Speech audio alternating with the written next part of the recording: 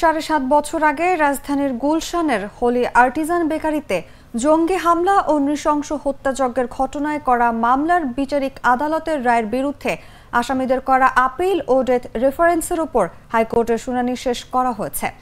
এ বিষয়ে রায় ঘোষণার জন্য আগামী ত্রিশ অক্টোবর দিন ঠিক করেছেন আদালত।